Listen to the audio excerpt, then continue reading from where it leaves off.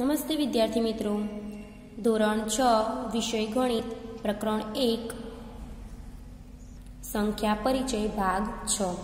અગાઉના આપણે ધોરણોમાં સેન્ટીમીટર એટલે કે સેમીની લંબાઈના એકમ તરીકે ઉપયોગ કરીએ છીએ તે જાણ્યું પેન્સિલની લંબાઈ, પુસ્તક અથવા નોટબુક્સની પહોળાઈ વગેરે માપવા માટે આપણે સેન્ટીમીટરનો ઉપયોગ કરીએ છીએ.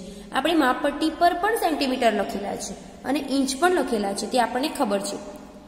હવે પેન્સિલની જાડાઈ માપવા માટે સેન્ટીમીટર એ મોટું માપ છે. તેથી આપણે તેનો મિલીમીટરનો ઉપયોગ કરીએ છીએ. મિલીમીટર એટલે સેન્ટીમીટરથી નાના જે કાપા હોય છે તે મિલીમીટર હોય છે તેને મિમી કહે છે. હવે આ આપણે ખૂબ યાદ રાખવા માટેની બાબતો છે. દસ મિલીમીટર બરાબર એક સેન્ટીમીટર થાય. આપણે એક સેન્ટીમીટર હોય છે ફૂટપટ્ટી. એમાં દસ નાના નાના કાપા હોય છે તે દસ મિલીમીટર છે. હવે સો સેમી બરાબર એક મીટર આપણે અગાઉના ધોરણમાં શીખી ગયા છીએ ધોરણ ત્રણ ચાર પાંચમાં. હજાર મિલીમીટર બરાબર એક મીટર. આ આપણા માટે નવું છે. આ આપણે ખૂબ જ ધ્યાનથી આગળ યાદ રાખવાનું છે.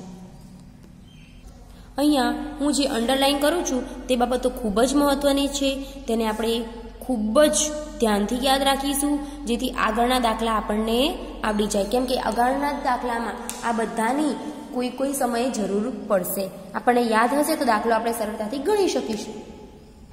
હજાર મીટર બરાબર એક કિલોમીટર. આ પણ આપણે અગાઉના ધોરણમાં શીખી ગયા છીએ. એક મીટર બરાબર હજાર મિલીમીટર. આ આપણે યાદ આગળ રાખી લીધું છે. ફરીથી એકવાર લીટી કરી દઉં છું જેથી તમને યાદ થઈ જાય. એક કિલોમીટર બરાબર હજાર મીટર, આ પણ આપણે અહીંયા આગળ જોયું. હવે હજાર મિલીમીટર, એક કિલોમીટરના મિલીમીટર શોધવા છે, તો આપણે શું કરીશું?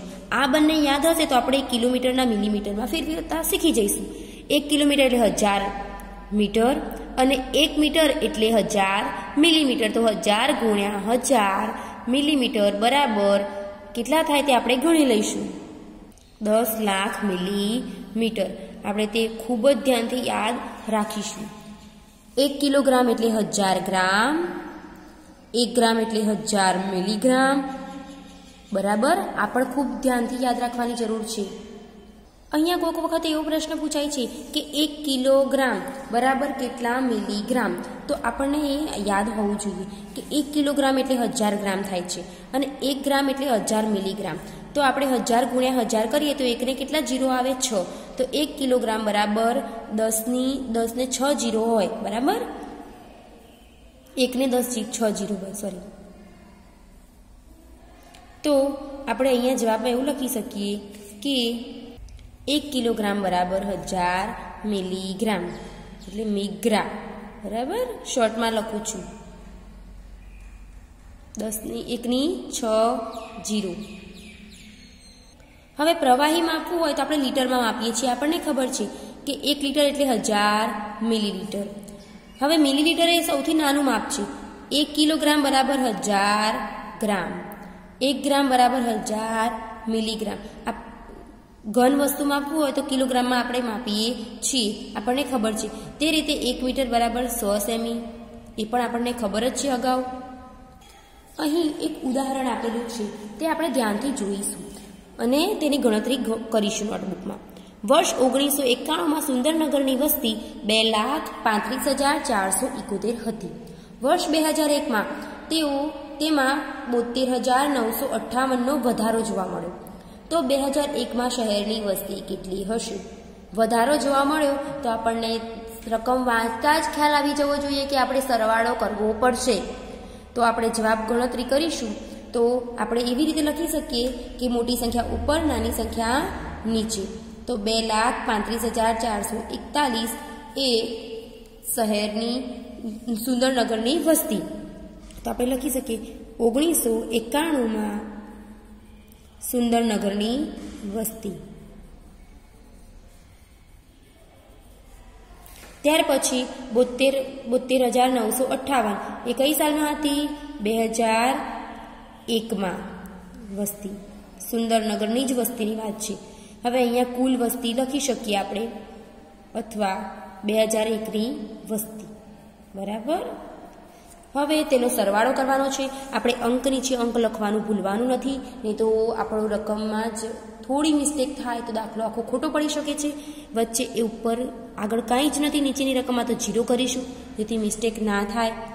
હવે એકને આઠ, નવ. સાતને પાંચ, બારનો બગડો વધી એક. નવને ચારને એક, પાંચ. પાંચને નવ, ચૌદનો ચાર વધી એક.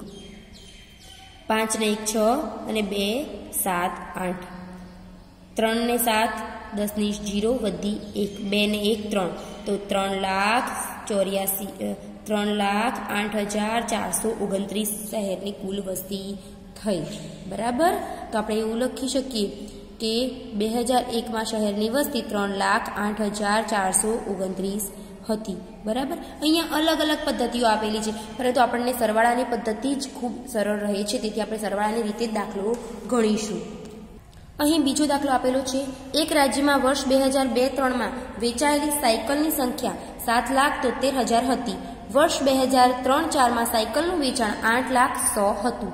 કયા વર્ષે સાયકલનું વેચાણ વધુ થયું હતું અને કેટલી વધુ તે આપણે જોવાની છે. તો આપણને સ્પષ્ટપણે ખબર છે કે બે હજાર ત્રણ ચારમાં સાયકલનું વેચાણ વધારે થયું, કેમ કે અહીંયા આઠ લાખનો આંકડો છે અને અહીંયા સાત લાખનો આંકડો છે. તે તો ખબર પડી, પણ કેટલી વધુ તે આપણે જોવાની છે. તો અહીંયા જોઈએ તો સ્પષ્ટપણે કહી શકીએ કે તે આઠ લાખ સો અને સાત લાખ તેતાલીસ હજાર કરતાં આઠ લાખ વધુ છે. તેથી તે સ્થિતિમાં બે હજાર બે ત્રણ કરતાં બે ત્રણ કરતાં બે હજાર ત્રણ ચારમાં સાયકલ વધુ વેચાઈ હતી. પરંતુ આપણો જવાબ જોવાનો છે કેટલી વધુ વેચાઈ તે શોધવા માટે. તો આપણે અહીંયા આ કઈ સાલમાં વેચાઈ હતી સાયકલ. તો બે હજાર ત્રણ ચારમાં. તો આપણે અહીંયા પાછળ લખી શકીએ કે સાયકલનું વેચાણ બે હજાર બે ત્રણ ચારમાં. અહીંયા લખી શકીએ કે સાયકલનું વેચાણ બે હજાર બે ત્રણમાં.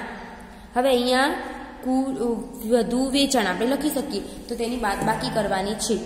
કેટલું વધુ થયું એવો પ્રશ્ન જ્યારે આવે ત્યારે બાદબાકી કરવાનું ભૂલવાનું નથી. જીરોમાંથી જીરો જાય તો જીરો, જીરોમાંથી જીરો જાય તો જીરો, એકમાંથી જીરો જાય તો એક જીરોમાંથી ત્રણ ના જાય, તો આપણે દસ કો કરવાનો છે. બાજુમાં એક અંક ઓછો કરવાનો છે, પણ બાજુમાં નવ, જીરો છે એટલે આપણે નવ કરીશું. હજી બાજુમાં એક અંક ઓછો કરીશું તો સાત. દસમાંથી ત્રણ જાય તો સાત, નવમાંથી ચાર જાય તો પાંચ, સાતમાંથી સાત ગયા તો જીરો. તો સત્તાવન હજાર સો સાયકલ વધુ વેચાય. તો બે હજાર ત્રણ ચારમાં સત્તાવન હજાર સો સાયકલ વધુ વેચાઈ હતી. તેવો આપણે જવાબ લખી શકીએ છીએ. હવે ત્રીજું ઉદાહરણ જોઈશું. ઉદાહરણ નંબર ત્રણ. નગર અખબાર દરરોજ પ્રકાશિત થાય છે. એટલે કે છાપવું. એક નકલમાં બાર પાના છે. દરરોજ અગિયાર હજાર નવસો એંસી નકલ છાપવામાં આવે છે. દરરોજ કેટલા પૃષ્ઠો દરરોજ મુદ્રિત થાય. તો આપણે સરળતાથી કહી શકીએ કે શું કરીશું, સરવાળો? બાદબાકી ગુણાકાર કે ભાગાકાર? એક નકલમાં બાર પાના, તો અગિયારસો નેવું નકલમાં કેટલા? એને ચોકડી ગુણાકારથી પણ કરી શકીએ છીએ અને સાદી રીત ગુણાકારથી પણ કરી શકીએ છીએ. તો અગિયાર હજાર નવસો એંસીને બાર વડે ગુણીશું. તો અહીં અગિયાર હજાર નવસો એંસી ગુણ્યા બાર કર્યો, તો એકમ દશકની શૂન્ય કરવાની ભૂલવાની નથી. એક જીરો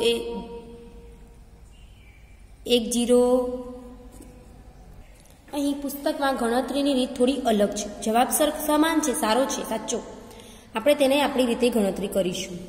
અગિયાર હજાર નવસો એંસી ગુણ્યા બાર. હવે આપણે ગુણાકારમાં શું કરતા હતા? બે અંક હોય તો એકમ દશકનો જીરો કરતા હતા. એક જીરો જીરો. એક અઠ્ઠા આઠ. એક નવ નવ. એક એકા એકા અને એક એકા એકા. બરાબર? હવે બે વડે ગણીશું. જીરો દુ જીરો, આઠ દુ સોળનો છ, વધી એક. નવ દુ અઢાર ને એક, ઓગણીસનો નવ, વધી એક. બે એકા બે અને એક, ત્રણ. બે એકા બે.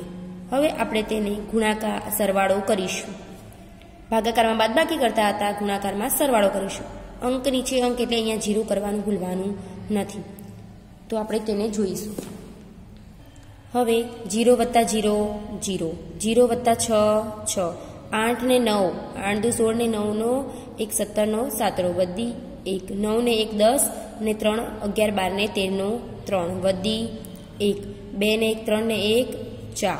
ને કુલ એક ને જીરો એક. તો ચૌદ લાખ સાડત્રીસ હજાર એક લાખ તેતાલીસ લાખ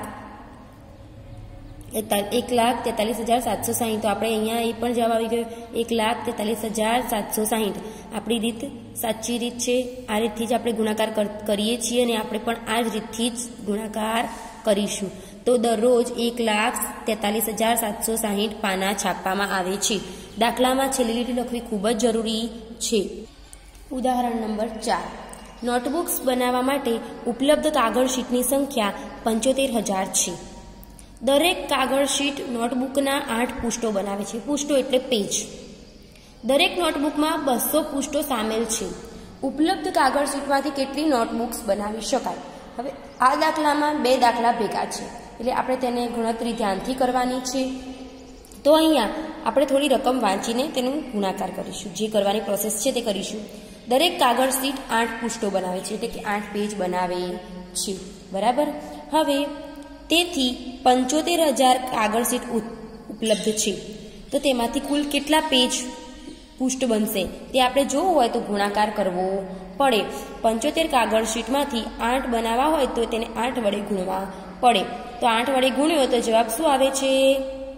આઠ પંચ જીરોના ત્રણ જીરો કરી દીધા. આઠ પંચા ચાલીસનો જીરો. બધી એક. સાત અઠ્ઠા છપ્પન ને ચાર ઉમેરીએ તો સાહીઠ થાય છે. તો શું જવાબ આવ્યો? છ લાખ પૃષ્ઠો ઉપલબ્ધ છે નોટ આટલી કાગળ શીટમાંથી. હવે તમને આગળનો લીટી વાંચીએ તો દરેક નોટબુકમાં બસો પૃષ્ઠો સામેલ છે. એક નોટમાં બસો પૃષ્ઠો તો બસો પૃષ્ઠોની એક નોટ તો છ લાખ પૃષ્ઠોમાંથી કેટલી નોટ તેમાં ચોકડી ગુણાકાર પણ કરી શકીએ છીએ. પરંતુ આપણે સાદી રીત, ભાગાકારની રીતથી કરીએ તો ફટાફટ જવાબ આવી જાય. બસોનો ઘડિયો તો આપણને આવડતો નથી. તો આપણે બેના ઘડિયાનો ઉપયોગ કરીશું અને ત્યાં ડબલ ઝીરો લગાડી દઈશું. હવે છ લાખ ભાગ્યા બસો. તો બેના ઘડિયામાં છ ક્યાં આવે? બે તરી છ. તો છ આવતા હોય તો બે જીરો કરી દઈશું. તો ઉપર જી છ છસો લખ્યા, ઉપર ત્રણ લખ્યા. તો છસોમાંથી છસો જાય તો જીરો. ઉપરથી ઉતાર્યો જીરો, તો ઉપર ગયો જીરો. ફરી ઉપરથી જીરો ઉતારો તો ઉપર ગયો જીરો. ઉપરથી ફરી જીરો ઉતારો તો ઉપર ગયો જીરો. તો અહીંયા જવાબ આવી ગયો કે કેટલી નોટબુક્સ બનશે? આપણે છેલ્લો જવાબ છે કે કેટલી નોટબુક્સ બનાવી શકાય? તો ત્રણ હજાર નોટબુક્સ બનાવી શકાય. પરંતુ આપણે આ આ પ્રોસેસ ના કરી અને સીધી આ પ્રોસેસ કરીએ તો આપણને દાખલો આવડે નહીં. આ પ્રોસેસનો આ જવાબ જ આપણી પાસે ન હતો. એટલે આપણે ગુણાકાર કરવો ખૂબ આવશ્યક છે, પછી જ ભાગાકાર કરવો પડે છે. હવે નેક્સ્ટ વિડીયોમાં એક પોઈન્ટ બે સ્વાધ્યાય જોઈશું.